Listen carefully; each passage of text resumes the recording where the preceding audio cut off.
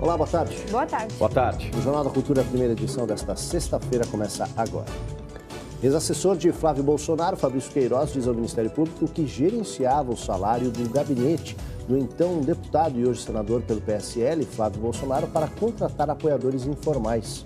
Ex-diretor da DERSA, empresa de desenvolvimento rodoviário de São Paulo, Paulo Vieira de Souza, o Paulo Preto, é condenado a 27 anos de prisão por formação de cartel em obras do Rodoanel. Para carnaval em Pernambuco, ao seu Valença e ao Ramalho abriram oficialmente o carnaval de Olinda. Serão mais de 3 milhões de foliões curtindo o frevo e os quase 500 blocos espalhados pela capital pernambucana. Começam a valer hoje em São Paulo as novas regras do bilhete único e a gente explica o que muda. No quadro Linha de Frente, o curso de inglês gratuito da ONG Cidadão para o Mundo, que já atendeu mais de 10 mil alunos em São Paulo e no Rio de Janeiro. Venezuela muda o escritório europeu da estatal do petróleo para Moscou. O objetivo é driblar bloqueio internacional de petrodólares. No esporte, Maia Gabeira entra em polêmica ao falar sobre salários para homens e mulheres no sul. E a dica do Cine Esporte de hoje tem cara de Oscar. O documentário vencedor Fui Solo.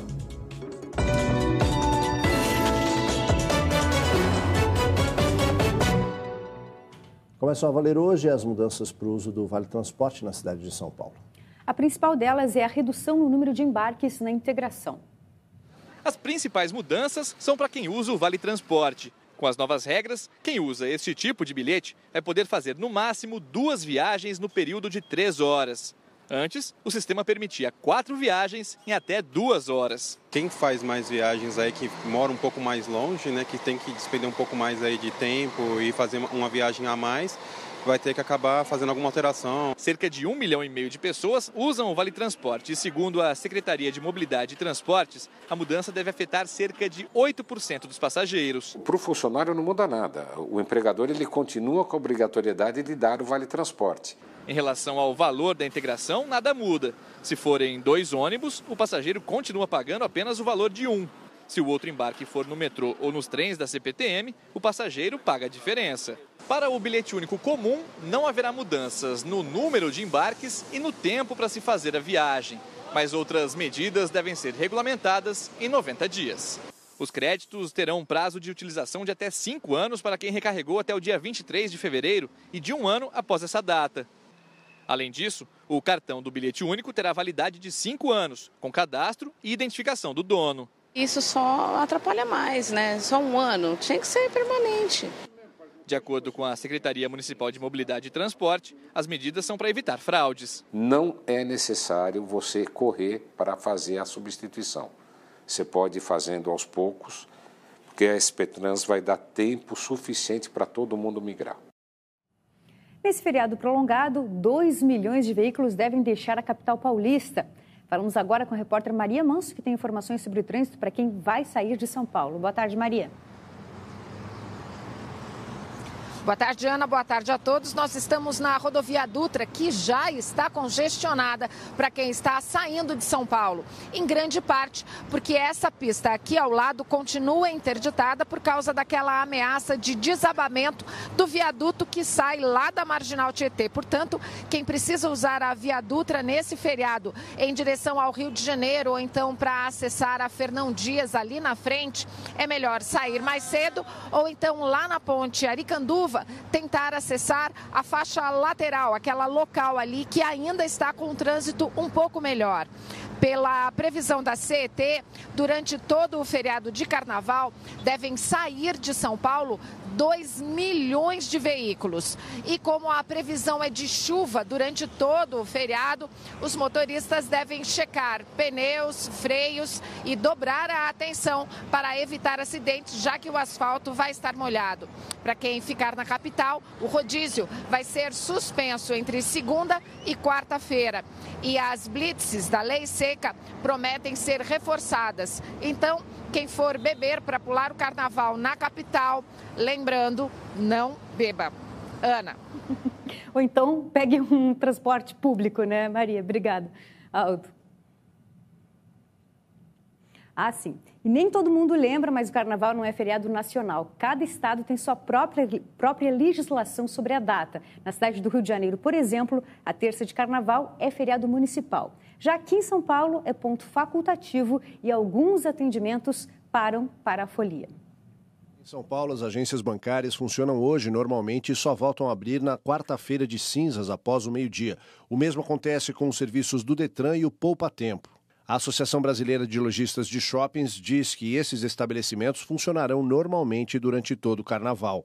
Nos hospitais estaduais, os serviços de pronto-socorro e internação estão mantidos, só os serviços ambulatoriais ficam suspensos. E para quem quiser aproveitar a folga para fazer uma boa ação, a Fundação Pro Sangue do Hospital das Clínicas funcionará durante todo o carnaval, das 8 da manhã às 5 da tarde, exceto no domingo. Alceu Valença e Elba Ramalho abriram oficialmente o carnaval de Olinda. Durante toda a folia, a expectativa é reunir mais de 3 milhões de foliões entre brasileiros e estrangeiros. O arrastão do frevo, que invadiu a Praça do Carmo, foi o último anúncio antes da abertura oficial do carnaval em Olinda. 45 músicos da Orquestra Vila Lobos, regida pelo maestro Clóvis Barbosa, puxaram os foliões. Nós estamos abrindo é, uma janela, um portão para a liberdade desse povo brasileiro, para brincar o carnaval e jogar e jogar seu espírito ruim para fora e só vem só a paz, a bondade, amor e carinho. Aqui é Olinda, é assim. E nunca um tema fez tanto sentido. A fantasia é você. Posso ser havaiano, outro dia eu posso ser marinheiro, outro dia eu posso ser gladiador. Outro dia eu posso estar de árabe. A gente entra em outro universo e pode ser o que a gente quiser no carnaval. A partir de agora, a festa em Olinda só acaba na quarta-feira de cinzas. Serão quase 500 blocos desfilando pelas ruas, além dos shows e atrações espalhados pelos oito polos culturais da cidade. O Carnaval de Olinda, ele é tradicionalmente um carnaval de cortejos, de agremiações carnavalescas de vários modelos. É um carnaval participativo, sem falar nos nossos bonecos gigantes e nas nossas orquestras de frevo que estão espalhadas por toda a cidade fazendo a animação do nosso carnaval. E só para dar um gostinho do que deve ser o carnaval dos próximos dias, o principal show da estreia de 2019 teve Alceu Valença e Elba Ramalho. Moro aqui em Olinda desde 1980, tenho uma casa aqui, e mas desde criança que eu frequento Olinda. Então Olinda está na minha alma. Muito feliz, muito honrada. Uma alegria enorme estar com o seu no palco e estar em Olinda. Maria Giseneide tem as melhores expectativas. Maravilhosos. Muita alegria, muita festa. A TV Cultura transmite o Carnaval de Rua de Recife hoje a partir das 10h15 da noite. Às vésperas do Carnaval, o Ministério Público do Rio de Janeiro pediu novo laudo de segurança no sambódromo da Sapucaí. A equipe de bombeiros faz desde cedo uma vistoria emergencial. Ontem, no início da noite, o Ministério Público do Rio de Janeiro entrou com uma ação pedindo a interdição do sambódromo e um laudo técnico com aprovação das medidas de segurança do Corpo de Bombeiros para liberar a Marquês de Sapucaí para os desfiles das escolas de samba cariocas. O prazo estabelecido na decisão foi de 24 horas. Por volta das 10 da manhã, uma equipe dos bombeiros começou a vistoria na estrutura, a partir do setor 2, onde ficam os camarotes. Ex-diretor da DERSA, empresa de desenvolvimento rodoviário de São Paulo, Paulo Vieira de Souza, o Paulo Preto, é condenado pela primeira vez por formação de cartel em obras do Rodoanel. Paulo Vieira foi condenado pela Justiça Federal de São Paulo a 27 anos e 8 dias de prisão, os sete primeiros em regime fechado. Ele é acusado de fraudar licitações e de participar da formação de cartel em obras do trecho sul do Rodoanel e do sistema viário metropolitano entre 2004 e 2015. Segundo a denúncia, enquanto era diretor da DERSA entre 2007 e 2010, Paulo Vieira se reuniu com dirigentes de empreiteiras para combinar quem venceria as licitações das obras. Paulo Vieira foi preso há 10 dias em outra ação da Polícia Federal suspeito de operar propinas para Odebrecht. Na ocasião, os promotores da Lava Jato afirmaram que ele mantinha 100 milhões de reais em espécie em apartamentos em São Paulo. Ele nega as acusações. Dois ministros do Supremo Tribunal Federal se declararam impedidos de relatar um pedido de habeas corpus do médium João de Deus, preso desde dezembro do ano passado, réu por violação sexual e estupro de vulnerável. Ontem foi a vez de Luiz Fux alegar questão de foro íntimo para não julgar o médium. João de Deus tenta a liberdade via o Supremo desde o dia 15 de fevereiro. Na época, o processo foi distribuído para Gilmar Mendes, que também alegou foro íntimo para não julgá-lo. O pedido, então, vai ser redistribuído entre os outros ministros da Corte. Nesta quinta-feira, o Superior Tribunal de Justiça negou um outro pedido de habeas corpus. João de Deus está preso desde 16 de dezembro no complexo penitenciário de Aparecida de Goiânia. Ele é acusado de abusos sexuais durante atendimentos espirituais na cidade de Abadiana, Goiás, e nega todas as acusações. Líderes dos partidos da base aliada receberam com surpresa a declaração do presidente Jair Bolsonaro de que o governo aceita mudar o projeto de reforma da Previdência enviado ao Congresso. A declaração foi feita por Bolsonaro num café da manhã com jornalistas no Palácio do Planalto. O presidente sinalizou que o governo pode ceder em pontos da reforma que ainda nem começou a tramitar nas comissões do Congresso. Bolsonaro disse que o projeto tem gorduras e entre os pontos que poderiam ser alterados estaria a redução da idade mínima de aposentadoria para mulheres de 62 anos, como está no projeto, para 60 anos. Os presidentes do Senado e da Câmara não quiseram comentar a fala do presidente. Surpresos, os parlamentares da base aliada consideraram que anunciar a possibilidade de ceder antes do início da tramitação do projeto sinaliza fraqueza e pode dificultar as negociações da reforma. Já o mercado financeiro recebeu mal a fala do presidente e a Bolsa de Valores caiu ontem quase 2%. Nos últimos dias, o governo federal tem mudado a cara de órgãos e conselhos chamados do segundo escalão. Essas medidas não precisam de aprovação do Congresso e acontecem de acordo com promessas de campanha e pressão da base eleitoral, principalmente via redes sociais. A baixa mais recente é da cientista política e fundadora do Instituto Igarapé, Ilona Zabó. Uma das coordenadoras da campanha nacional do desarmamento, ela foi uma indicação pessoal do ministro Sérgio Moro para suplente do Conselho Nacional de Política Criminal e Penitenciária. Mas a reação negativa da base de apoio do presidente Jair Bolsonaro fez com que Moro recuasse. É o segundo recuo do ex-juiz, que deixou a toga para assumir a esplanada com a promessa de ter carta branca no exercício da função. Antes, por pressão política, teve que tirar o caixa 2 do projeto de segurança que enviou ao Congresso. Para este cientista político, a decisão mostra que o governo não está aberto à diversidade de opiniões. É bastante provável que sejam nomeados agora apenas indivíduos alinhados à visão do governo, o que é negativo para essa pluralidade. Já esse outro cientista político acredita que o governo federal cumpre promessas de campanha. É um procedimento normal da democracia em que o cidadão, principalmente aquele cidadão é, que apoiou o governo eleito, portanto vitorioso nas eleições, se faz ouvir e reclama de uma nomeação que entende ser contrária aos seus interesses. Em nota, Zabó disse lamentar não assumir o mandato devido à ação extremada de grupos minoritários e que a pluralidade foi derrotada. Essa não é a primeira vez que o governo se articula para definir cargos seguindo critérios políticos ou ideológicos. Nessa mesma semana, o ministro do Meio Ambiente, Ricardo Salles, exonerou 21 superintendentes do IBAMA. O motivo não foi divulgado. Antes, o governo extinguiu o Conselho de Segurança Alimentar e, durante o período de transição, desistiu do educador Mozart Neves Ramos para o MEC, por pressão da bancada evangélica. O cientista político Edson Nunes considera que as alterações fortalecem a democracia. O que nós estamos vendo agora não é uma diminuição do pluralismo, é um aumento das vozes que estão sendo ouvidas eh, pelo governo de forma oficial. Já Marcelo Issa teme o esvaziamento dos conselhos e o fim da pluralidade. Quando se ouve diferentes pontos de vista no momento da elaboração de uma política pública ou de uma lei, melhores políticas públicas e melhores leis nós teremos. Ex-assessor de Flávio Bolsonaro na Assembleia Legislativa do Rio de Janeiro, Fabrício Queiroz, dá explicações pela primeira vez por escrito ao Ministério Público. Ele disse que gerenciava o salário do gabinete para expandir a atuação parlamentar do então deputado e hoje senador pelo PSL.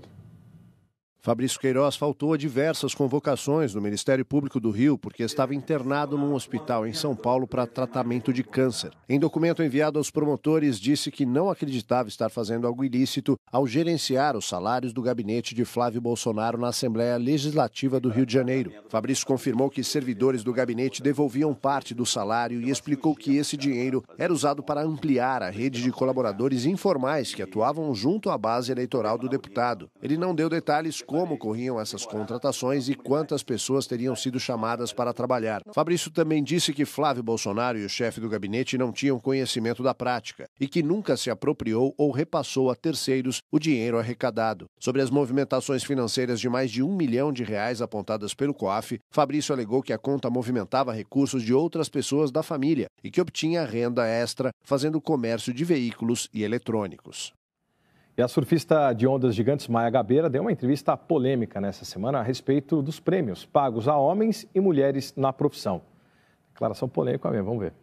Há pouco mais de um ano, Maia Gabeira entrou para a história ao surfar a maior onda registrada entre mulheres, 20 metros e 90 centímetros, e está no livro dos recordes. Se tornou referência em seu esporte. E a carioca, que esteve semana passada em Mônaco, na França, para concorrer ao prêmio de melhor atleta de ação, deu uma declaração no mínimo polêmica. São muitas gerações né, dos homens competindo e evoluindo e chegando num nível mais alto que a mulher, né? Eu acho que é de fato, é muito difícil comparar uma Marta com o Neymar, é, uma Maia Gabeira com um Led Hamilton. É quase contraditório, né? De certa forma, porque é um esporte que é, o surf é um esporte que o masculino ainda domina muito, não só dentro da água, mas também o mercado. Né? Mas eu acho que se vale pela iniciativa de é, igualar cada vez mais nos outros ambientes também, eu acho que é super válido, né? Em entrevista ao caderno Origem Surf do jornal Folha de São Paulo, ela disse que foi mal interpretada. Abre aspas. As palavras foram mal interpretadas, o que tirou um pouco do contexto o meu pensamento. Minha opinião não mudou. Eu acredito e luto pelos direitos iguais no esporte. Acredito que a nossa luta vai desde o reconhecimento em premiações, salários e principalmente na questão de oportunidades para as meninas entrarem no esporte. E um dia seremos igualadas também no número de competidoras esportistas.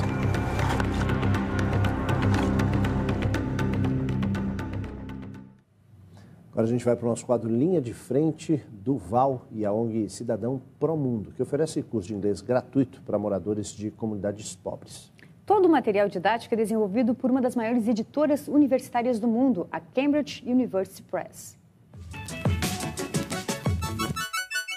Meu nome é Duval Guimarães, é, eu sou presidente voluntário da Cidadão Promundo já há três anos nós vamos até as comunidades para causar impacto na comunidade. Essa unidade em particular é aqui no Capão Redondo, que foi onde o, a Cidadão para o Mundo foi fundada. Open your books right now. Next year. Yes, yes. Keep going. As aulas acontecem todos os finais de semana, o curso dura cinco anos. E já estamos há 21 anos atuando hoje em 14 unidades, entre São Paulo, Grande São Paulo, é, Estado de São Paulo e Rio de Janeiro, em seis cidades, é, e atendendo a mais de 2.400 alunos, graças ao apoio de mais de 1.300 voluntários. A gente tem centenas de histórias, uma delas é o Vitor Hugo, por exemplo, que a gente viu aqui hoje. Eu fiz o curso de cinco anos na Cidadão para Mundo. Eu me graduei em junho do ano passado e eu decidi me tornar voluntário. What is his name? His é dele. Teve a oportunidade de estudar fora, trabalhar em grandes empresas atualmente como estagiário, faz uma faculdade é, de excelência. Com as oportunidades certas, os jovens da periferia, inclusive, podem ir muito além. É um sonho, porque eu nunca tive a oportunidade de estudar inglês. Tendo curso de inglês de graça, num bairro que é tão necessitado, pode ajudar as pessoas a ter uma visão de que o futuro delas pode ser totalmente diferente. Muitas vezes eu tenho algumas reuniões com multinacionais e eu consigo entender e comunicar com eles eles. Até então eu não conseguia e agora eu já consigo. A Cidadão para o Mundo, eh, a gente está começando a olhar nesse momento para um, um, próximo cenário de cinco anos, contribuir com professores de inglês da rede pública em particular, para que eles ajudem a Cidadão para o Mundo a replicar e aumentar esse impacto em maior escala na rede como um todo.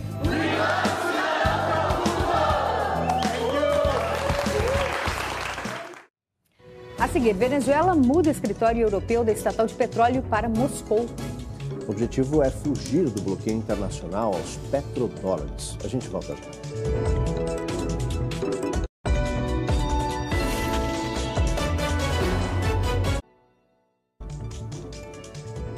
A partir de hoje, o Reino Unido tem quatro semanas para tomar uma decisão sobre Brexit, mas as incertezas sobre o futuro britânico marcam a polêmica separação da União Europeia. Marcado para o dia 29 de março, o divórcio entre o Reino Unido e a comunidade europeia chega a um momento crucial desde a aprovação do referendo em junho de 2016, que estabeleceu a saída do bloco. A primeira tentativa de ratificar o acordo em 15 de janeiro foi uma derrota parlamentar para a primeira-ministra Theresa May, que passou a correr contra o tempo para mudar os pontos polêmicos. Na terça-feira, ela aventou a possibilidade de adiar a data de saída do bloco. Até os líderes dos maiores partidos britânicos que votaram a favor do Brexit, como Jeremy Corbyn, já apoiam até a ideia de um novo referendo. Mas o Conselho Europeu está fechado para alterações do texto. Ontem, o chefe de negociação da União Europeia, Michael Barnier, afirmou que não é contra estender o prazo de saída, mas o Reino Unido precisa deixar claros seus objetivos. John McDonnell, número 2 do Partido Trabalhista, disse que a sigla proporá uma emenda pedindo um segundo referendo, assim que May voltar ao parlamento com um acordo. O ministro britânico do Brexit, Steve Barclay, disse que não há consenso no legislativo para outro referendo ou sequer sobre qual pergunta deveria ser feita. No próximo dia 12, a Premier fará a última tentativa de submeter à votação seu tratado sobre a saída da União Europeia. Theresa May prometeu que, caso seu acordo seja descartado, os parlamentares terão a chance de votar no dia seguinte para decidir se separam o país sem um acordo e no dia 14 de março para decidir se pedem à União Europeia que adie o prazo final. Depois de passar pelo Brasil, o líder da oposição na Venezuela, Juan Guaidó, vai ao Paraguai em busca de apoio. Para driblar o bloqueio internacional, o presidente Nicolás Maduro ordena a transferência do escritório europeu da estatal de petróleo, a PDVSA, para Moscou, na Rússia. A vice-presidente da Venezuela, Delcy Rodrigues, disse que o presidente Nicolás Maduro ordenou a mudança do escritório da PDVSA, a estatal produtora de petróleo da Venezuela, de Lisboa, em Portugal, para Moscou, na Rússia. O anúncio da decisão veio após reunião com Sergei Lavrov, o ministro das Relações Exteriores da Rússia, um dos poucos países que apoiam o regime de Nicolás Maduro. Um dos motivos da decisão foi o bloqueio de bens venezuelanos pelo Banco da Inglaterra e ainda o fato de Portugal reconhecer Juan Guaidó como líder interino da Venezuela. Conhecida como a terra do Papai Noel, a Lapônia, o norte da Finlândia, mostra nos céus um espetáculo de luzes e cores com a aurora boreal. As luzes coloridas da aurora boreal encantam os hóspedes desse hotel na cidade de Letojarvi, região da Lapônia, conhecida como a Terra de Papai Noel, no Círculo Polar Ártico ao norte da Finlândia. O espetáculo de luzes com tons que variam entre o verde, o rosa, o roxo e o branco começa a aparecer por volta da meia-noite e dura várias horas no céu. Esse fenômeno natural acontece quando partículas de vento solar se chocam com a alta atmosfera atraídas pelo campo magnético da Terra. A primavera é a melhor época para ver as luzes, também chamadas de aurora polar. Mas o espetáculo também pode acontecer perto do Polo Sul, quando é conhecido como aurora austral. E os hóspedes observam o espetáculo no conforto de seus quartos, com um teto de vidro, protegidos do frio rigoroso da região polar da Finlândia. O fenômeno foi batizado como aurora boreal pelo físico e astrônomo Galileu Galilei em 1619, em referência à deusa romana do amanhecer, Aurora, e ao deus grego Bóreas, que comanda os ventos fortes. E no último domingo, a Academia de Artes e Cinema fez a entrega dos prêmios do Oscar. Né? Na categoria documentário, o tema vencedor foi escalada, mas escalada sem equipamentos. Vamos ver. Thank you, National Geographic, for believing in us. O prêmio de melhor documentário, anunciado por Ellen Mirren e Jason Momoa, o Aquaman, destacou Free Solo, na National Geographic. O filme narra os bastidores da façanha de Alex Honnold, que conseguiu escalar El Capitan, o paredão de 975 metros, mais alto do mundo que alguém já enfrentou, em Yosemite, na Califórnia, nos Estados Unidos, sem cordas nem equipamentos de proteção. Uma proeza de habilidade incrível e coragem, que literalmente desafia a morte. A última tarefa de Ronald, antes desta escalada, era garantir à equipe de filmagem que eles não deveriam se sentir culpados, se, como a maioria dos especialistas previa, ele caísse para a morte. What if I don't see him again? I could just walk away, but it's like, I don't want to.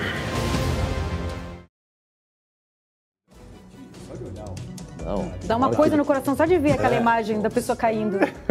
Dureza. Bora pro carnaval? Vamos. Jornal da Cultura, primeira edição termina aqui. Juízo nesse carnaval, divirta-se? Uma ótima tarde para você. Agora você acompanha o programa Panorama. Boa tarde e até amanhã, né, Cadu? Até amanhã, estaremos aqui. Nove e Alá, quinze lá, da noite. Pula no Carnaval. Eu tô de Tchau. folga. Tchau. Tchau, tchau.